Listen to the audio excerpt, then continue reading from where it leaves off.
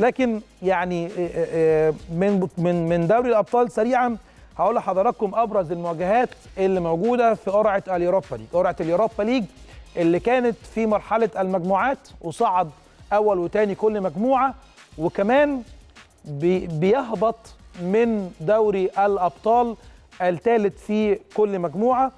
آه، يعني أهم وأبرز المواجهات آه، رابيد فيينا هيلاعب فريق إنتر ميلان.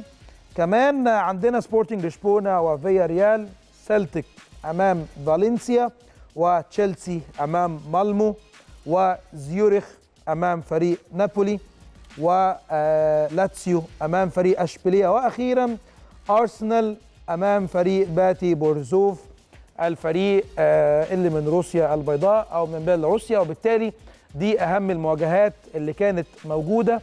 في آه، لقاءات أو قرعة آه، اليوروبا ليج اللي إن شاء الله هتكون في شهر فبراير 3 و4 13 و14 أو 12 و13 هيكونوا مباريات آه، دوري الأبطال ويوم الخميس 14 فبراير هتكون أولى جولات اليوروبا ليج وبالتالي هنشوف يعني ال- ال- المعجنة الكروية دي هتسفر عن إيه؟